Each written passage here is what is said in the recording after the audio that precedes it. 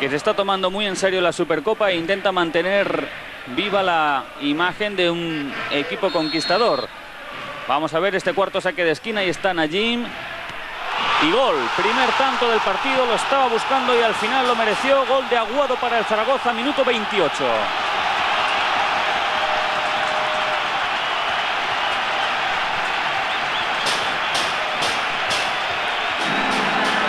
Estaba mereciéndolo el Zaragoza.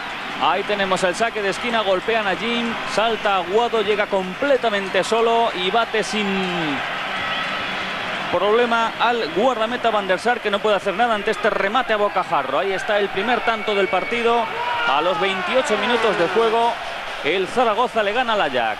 Zaragoza 1, Ajax de Amsterdam 0, gol de Aguado. Sar.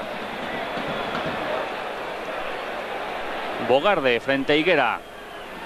Buter. Entra por el centro solo Van der Berg. Han vuelto a modificar. Kluivert. Qué bien ha parado la pelota Kluivert y qué golazo acaba de conseguir el delantero centro del Ajax.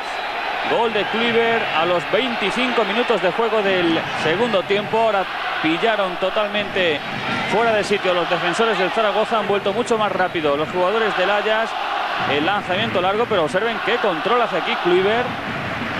Tremendo. Y después el remate con la pierna izquierda. Primer gol del Ajax. Empate a 1, minuto 25.